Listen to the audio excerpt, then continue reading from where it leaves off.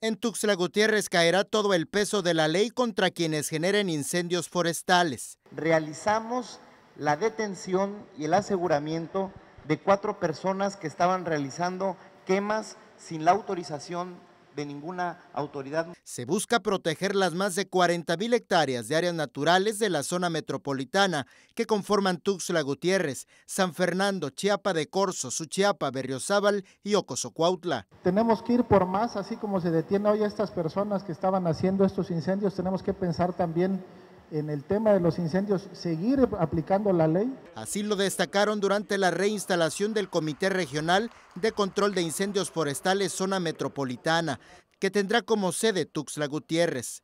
Se definieron las estrategias, recursos económicos, materiales y humanos para reducir al mínimo los efectos de las quemas. Para hacer frente a estos siniestros, en la entidad fue necesario fortalecer el Centro Estatal de Control de Incendios Forestales y los 12 centros regionales como este que hoy reinstalamos para reducir los incendios provocados. Si bien es cierto, hemos tenido logros, no, no estamos satisfechos.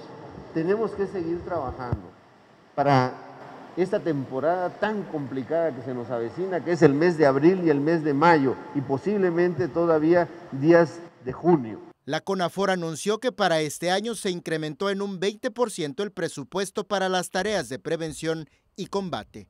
Con imágenes de Alberto Salinas, Eric Ordóñez, 10 Noticias.